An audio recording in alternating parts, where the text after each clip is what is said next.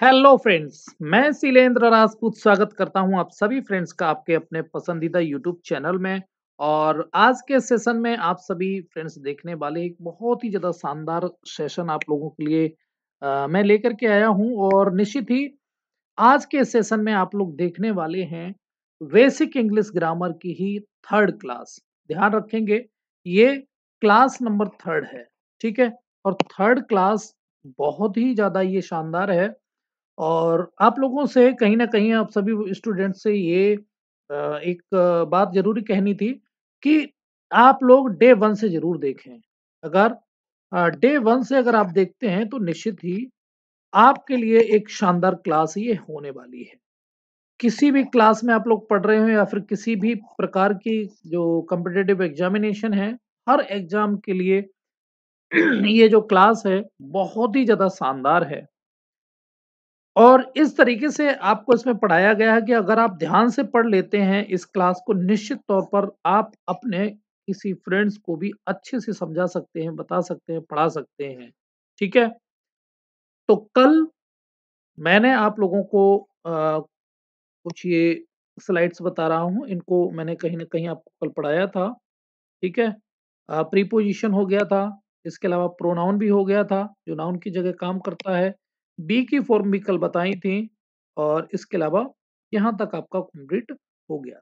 अब चलते हैं थोड़ा-सा आगे बढ़ते हैं और अब देख लेते हैं थोड़ा-सा एडजेक्टिव के बारे में, ठीक है?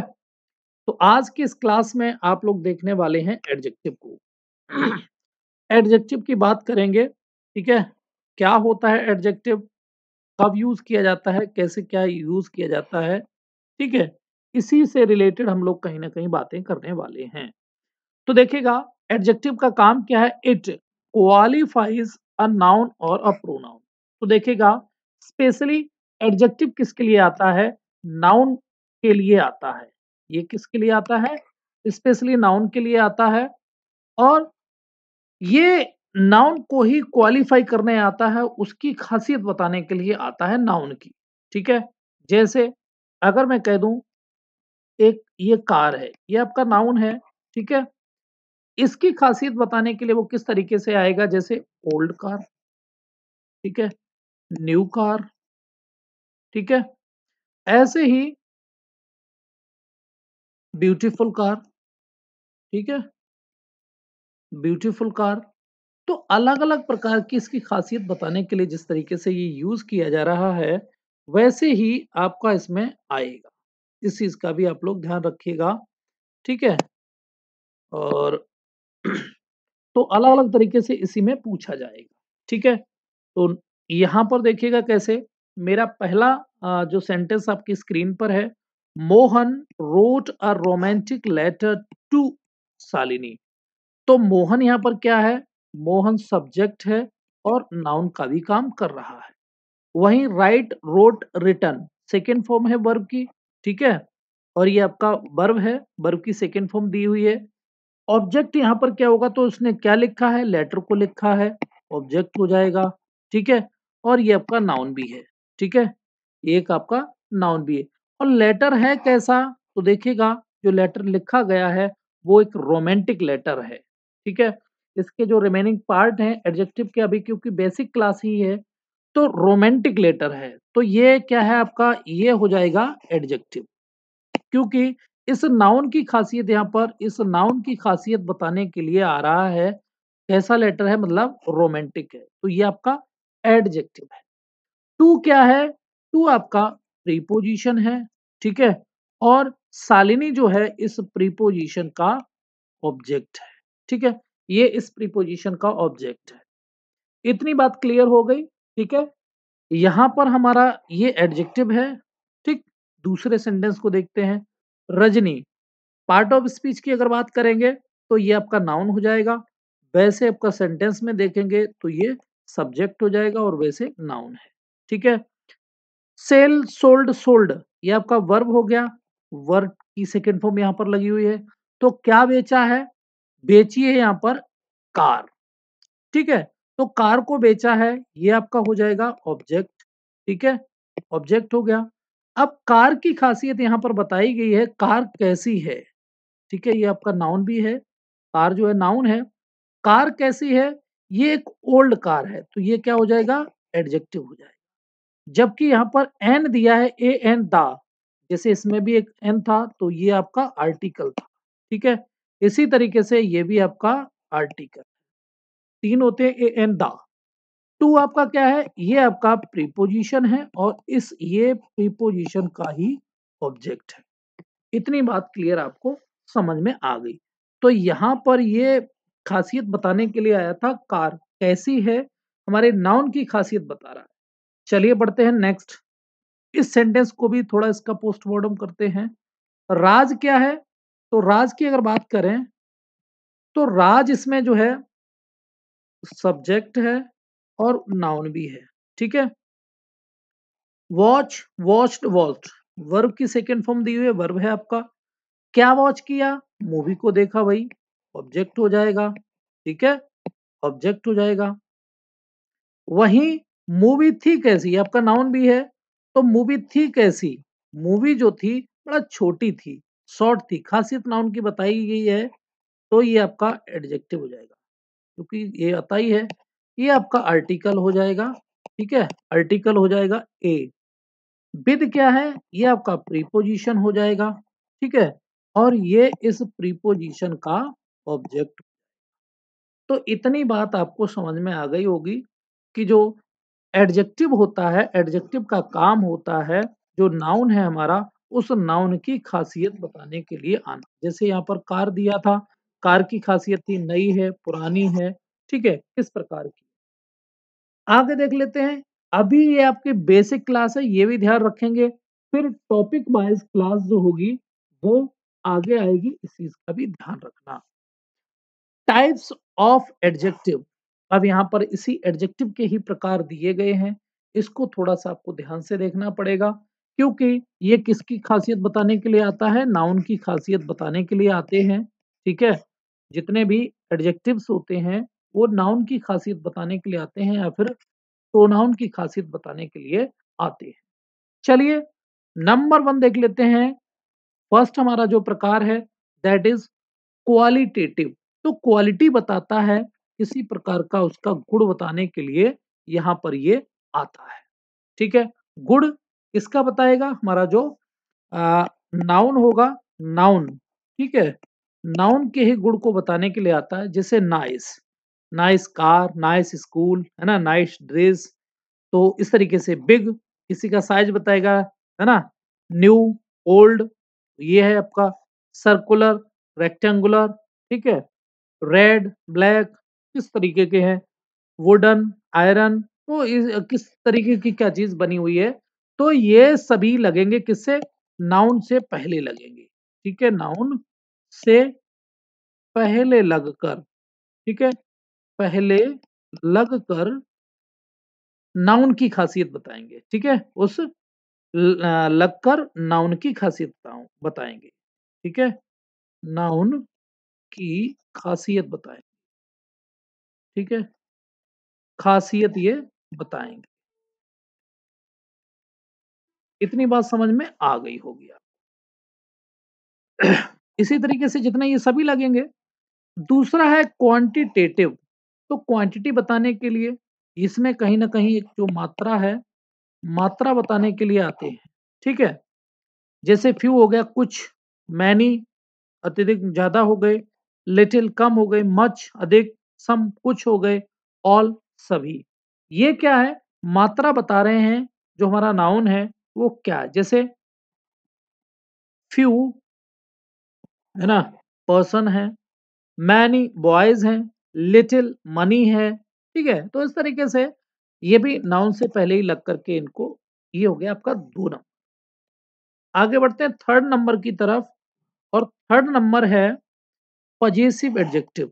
तो देखिएगा पजेसिव क्या है? इसमें कहीं ना कहीं आ, जो है पोजीशन दिखाई जाती है कब्जा कह सकते हैं ना? तो जिस पर अपना कब्जा हो कब्जा दिखाया जाएगा भाई। जैसे माई कार, भाई ये मेरी कार है है ना? मेरा स्कूल है, मेरा घर है अवर हमारे घर है है ना? तो इस तरीके से योर्स तुम्हारा है हिज उसका है हर इट्स देयर ठीक है? तो ये सभी पजेसिव एडजेक्टिव हैं। तो इसमें कहीं ना कहीं अपना इसमें कब्जा बताएगा कि भाई ये तो भाई मेरा है, मेरे पापा है, मेरी मम्मी है। इस तरीके से कहीं ना कहीं बताने की कोशिश इसमें की जाएगी। ठीक है?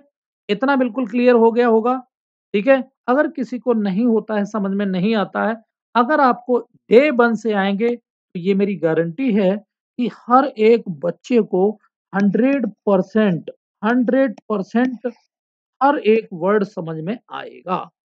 डे वन से चले जाइएगा और डे वन से इस वीडियो को ज़रूर देखें। ये कहीं ना कहीं एक पेनिशिया है, एक शानदार क्लास है आप लोगों के लिए, ठीक है?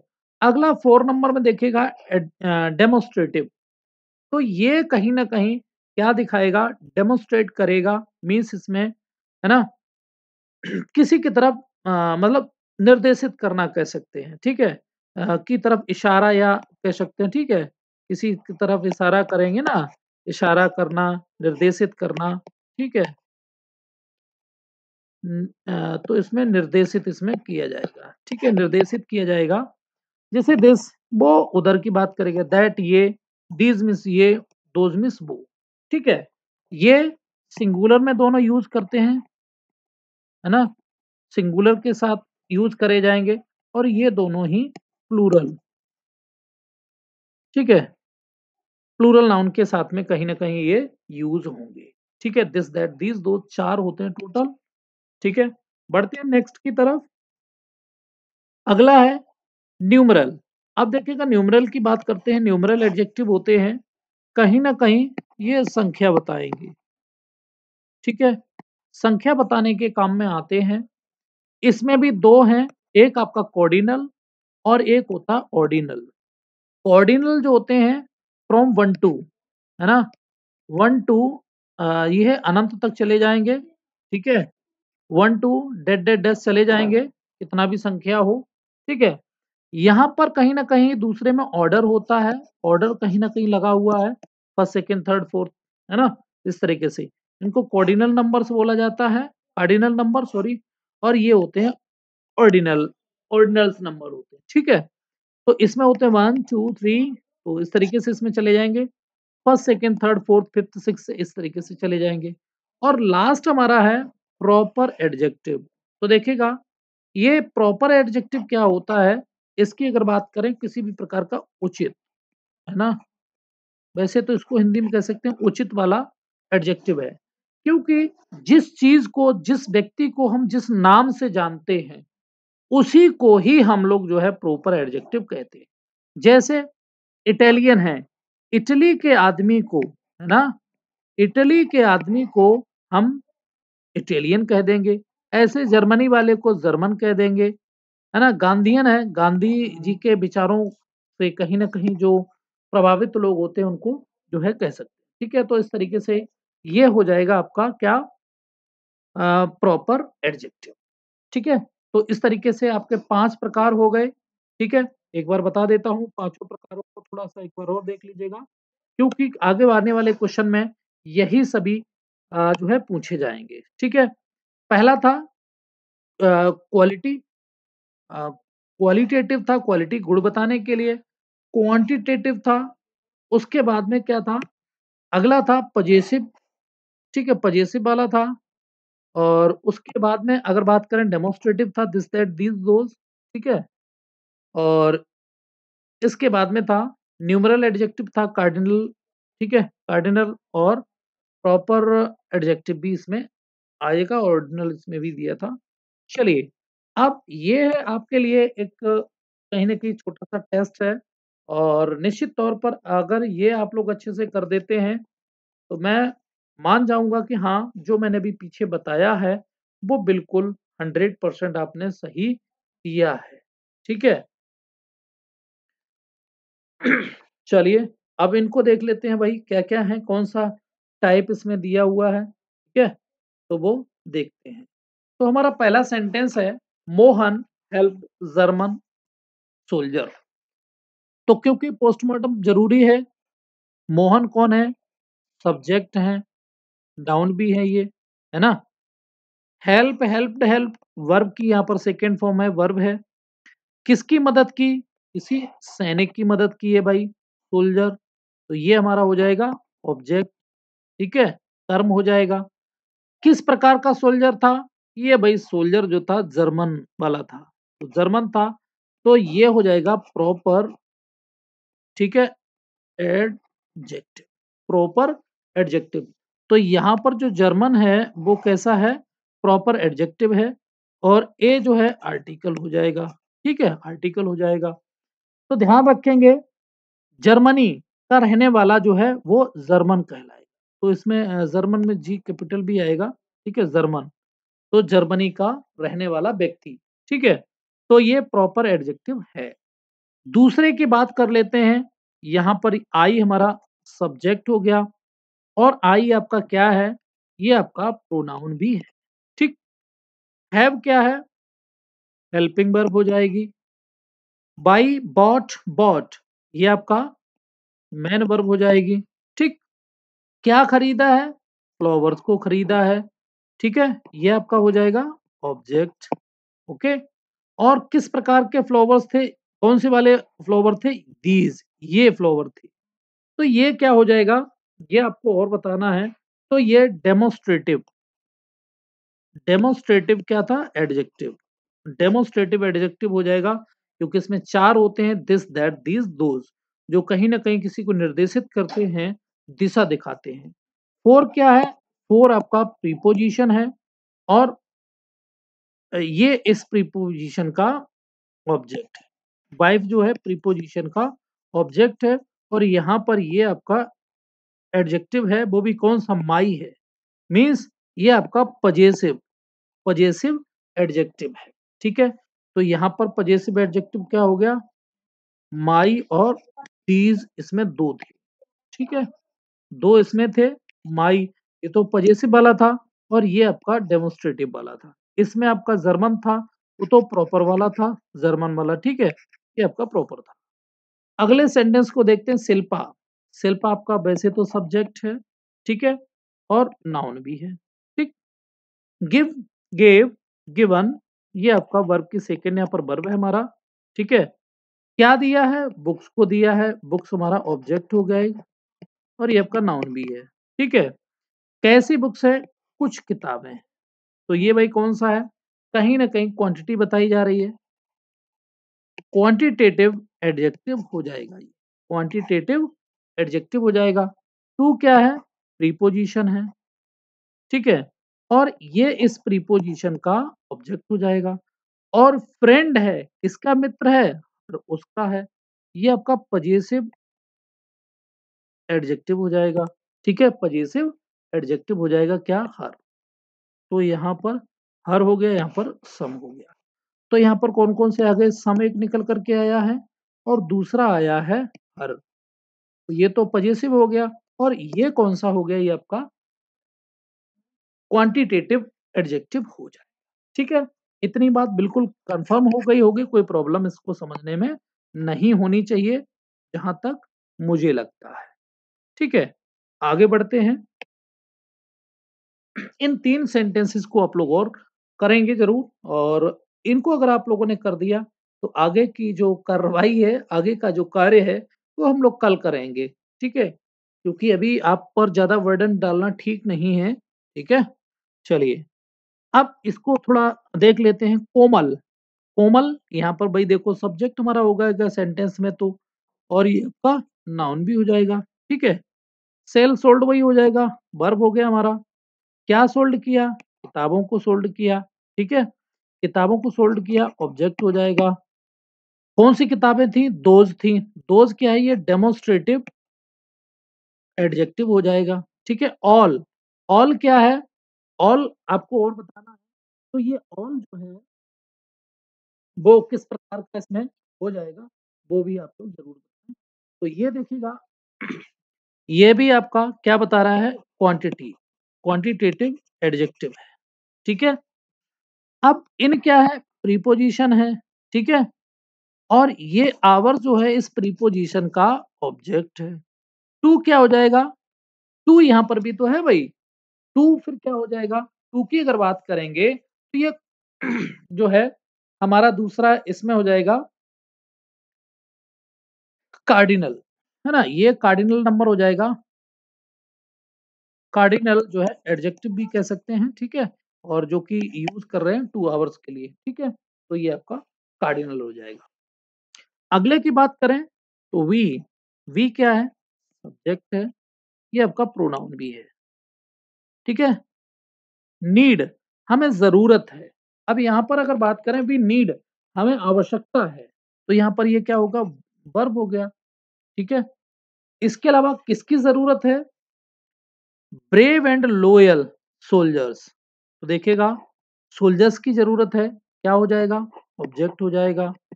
और सोल्जरों की खासियत क्या बताइए? दो क्वालिटी इसमें कहीं ना कहीं तो ब्रेव होना चाहिए और एक लोयल होना चाहिए। तो ये तो दोनों ही हो जाएँगे। है ना? तो ये कौन से हो जाएँगे? ये भी ध्यान रखेंगे ये आपके क्वांटिटी क्वालिटी बताने के लिए ना क्वालिटेटिव है। क्वालिटेटिव एडजेक्टिव है दोनों ही, ठीक है? यहाँ पर एंड क्या है? कंजंक्शन है, दोनों वर्डों को जोड़ने के लिए आ रहा है, ठीक है? फोर क्या है? हमारा प्रीपोजिशन है, और कंट्री जो है, इस प्रीपोजिशन का ऑब्जेक्ट हो जाएगा, ठीक है? प्रीपोजिशन का ऑब्जेक्ट हो जाएगा। अवर क्या है? अवर जो है, यहाँ पर पजेसिव पजेसिव एडजेक्टिव हो जाएगा इस ऑब्जेक्ट के लिए।